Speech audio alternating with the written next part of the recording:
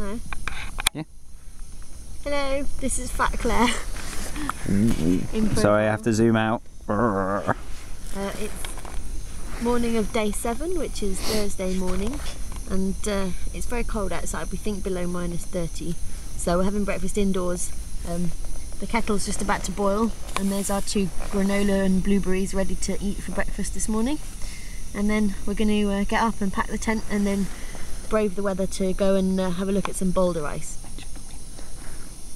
And there's some wind apparently. Ian wants me to say.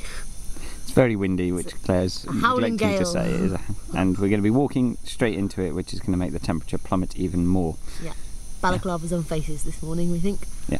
And have a look at our ice crystals. No, that doesn't come out. Can I make breakfast now? Yep. Say bye. Bye!